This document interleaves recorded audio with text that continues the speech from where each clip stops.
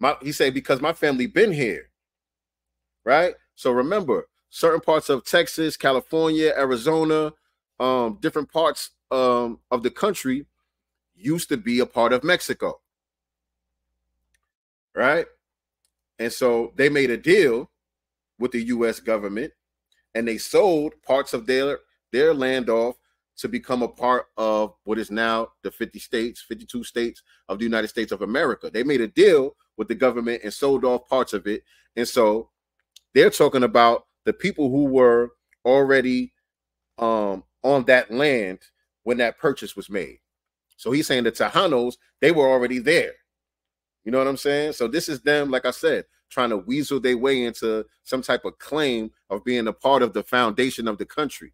But that doesn't work because in order for the purchase to be made, the country had to already be established.